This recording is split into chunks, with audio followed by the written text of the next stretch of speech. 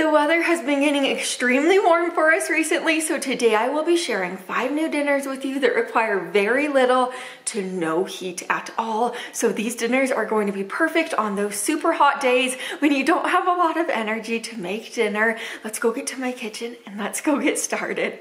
To kick us off today, we are making these black bean burritos. So into this medium-sized bowl, I'm adding in two 14-ounce cans of black beans.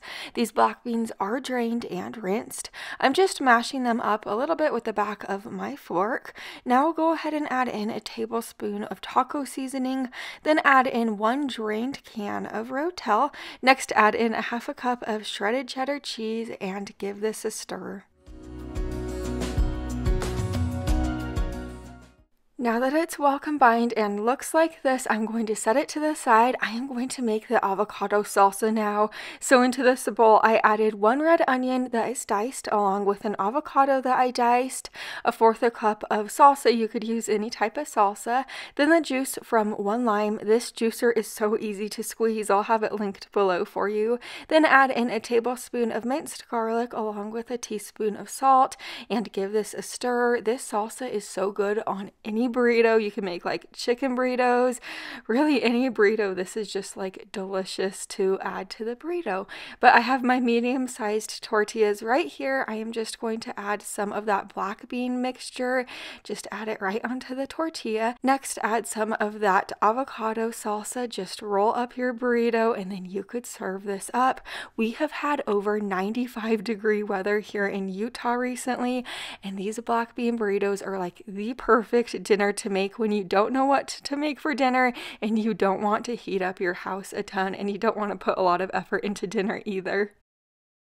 Now we're making this avocado corn salad. So to get it started, we're going to begin by cutting up our vegetables. I just cut up an English cucumber, next a half of a red onion, one cup of cherry tomatoes, and about one avocado.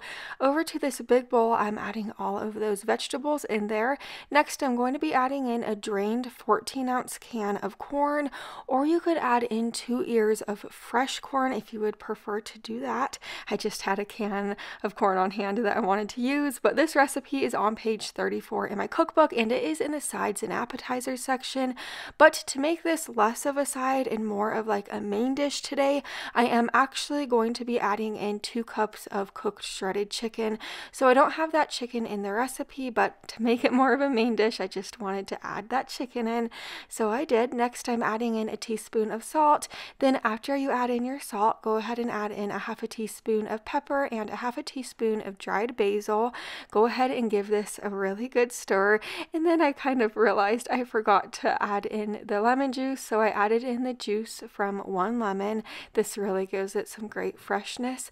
And then after you give it a stir, you could serve this immediately or you could refrigerate this for later. But like I said before, I added chicken into this. You could add in different veggies if you'd like. You could subtract different veggies. This recipe really is versatile and I do want to let you know for a lot of the recipes in my my cookbook, you could seriously make them your own. Like I said before, you could add ingredients, subtract ingredients, but we absolutely love this avocado corn salad in my house. It is so good. Now we are making these Italian Cobb salad subs and if you have never had a sub like this before, you need to try this. I'm starting out by cooking up six strips of bacon to this pan on my stove. I added a little water in and that will help the bacon cook evenly. Now I'm going to boil up three eggs in my Instant Pot or you could boil up your eggs however you choose to do so.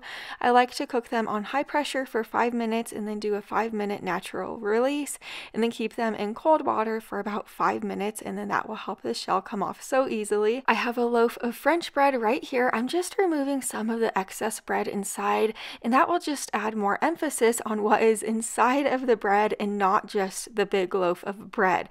I really like to do this when I use these big loaves of bread for like subs and then you can make the bread that you remove into like croutons just by baking it in the oven for a different recipe or a salad.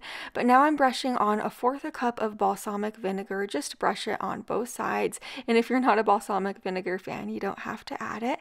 Next, I'm going to be brushing on a fourth a cup of Italian dressing. Any Italian dressing will really work well.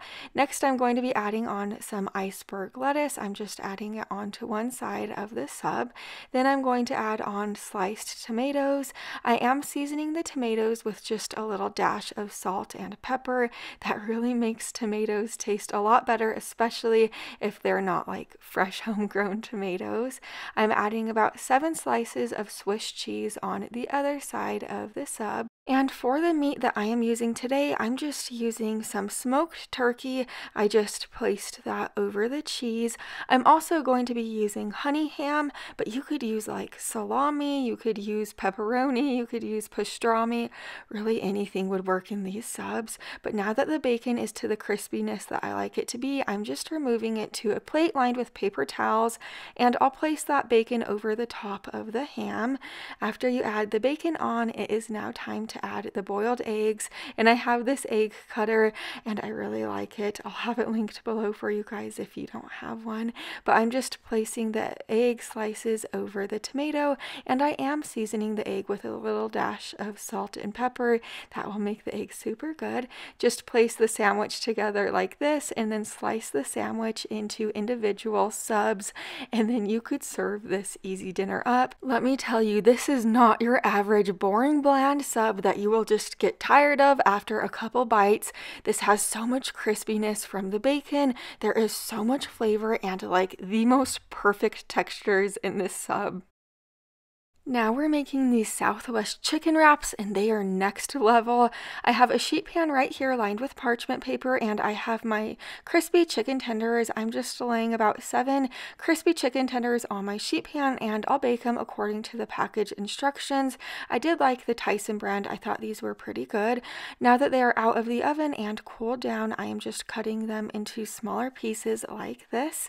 Now I am going to set them to the side. We're working on the Southwest dressing now. So into this bowl, I added in about a cup and a half of mayonnaise. Next, go ahead and add in a half a cup of salsa, followed by a half a cup of milk, and then three tablespoons of taco seasoning, then one teaspoon of cumin. This makes a lot of Southwest dressing. Give it a good whisk just like this until it is well combined. Now to assemble these wraps, I have large burrito sized tortillas right here. Just place one on a plate. And now I'm sprinkling a little bit of shredded Mexican style cheese over the top. Place some of your crispy chicken over the cheese. Next, I'm drizzling a little bit of Southwest dressing on the top. You could use however much or however little Southwest dressing you would like.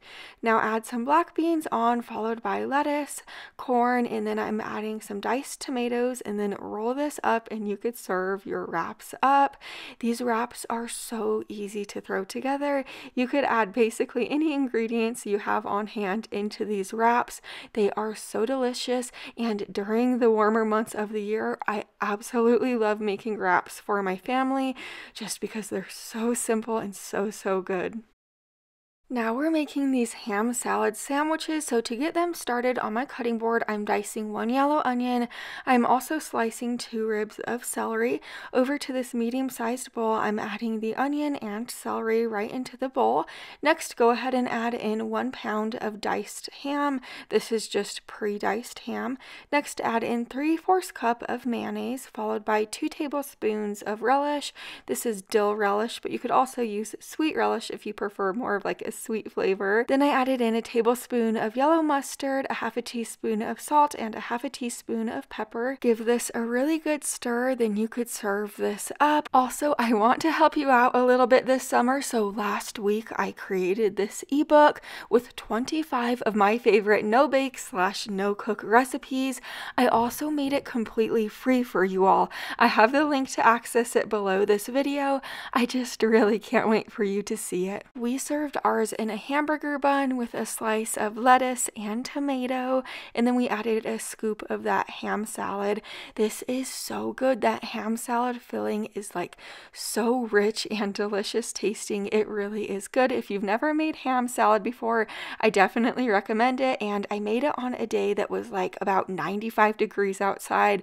So this was the perfect no cook dinner to make on that hot day. I know some of you guys are even having even warmer weather where you are at. We served this with Funyuns on the side. We haven't had Funyuns in such a long time. I know everybody is going through different things, so from the bottom of my heart, I really hope you're doing okay today, and I'll see you in my next video. Bye for now.